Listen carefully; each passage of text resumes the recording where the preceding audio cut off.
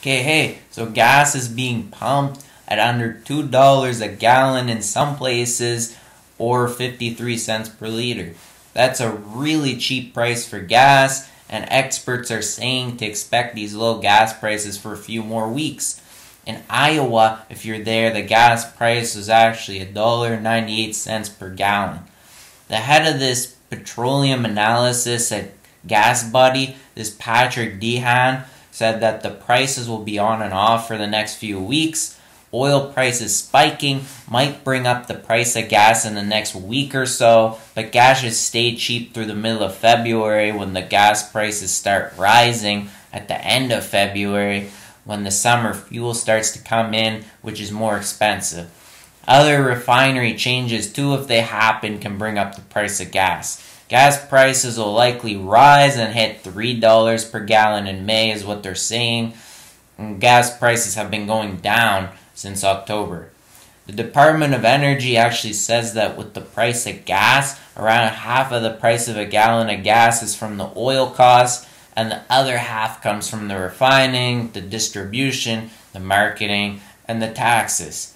Any states with high taxes like California will have like higher prices or if something happens with like a refinery there might be higher prices.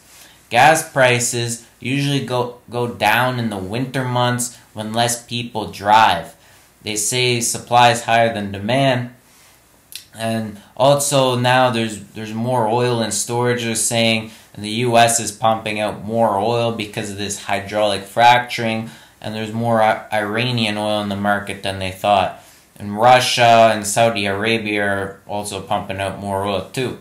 Iran wasn't supposed to be pumping much oil um, after the U.S. kind of were clamping down on them, but the U.S. now is letting them send oil to like eight countries like China, India, and South Korea.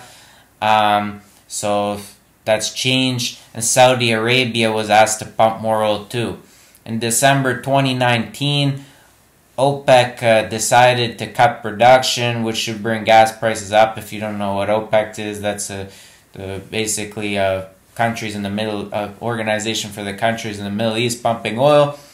Um, they said they'll meet in April to review that the decision they made, and no no one's sure if anything's going to change with Iran. The current the president got really excited. He took credit for the low gas prices right to start off the new year.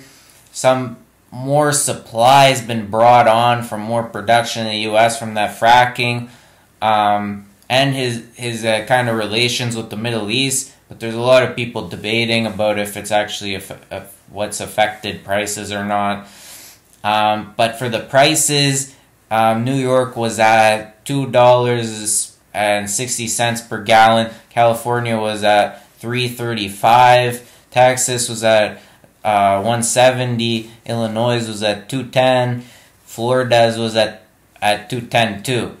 Uh, so higher gas states won't be as low, but you're looking at some really low prices just right across the board in a lot of places. Leave your comments how you feel about the gas prices being low. Check out my other videos and subscribe.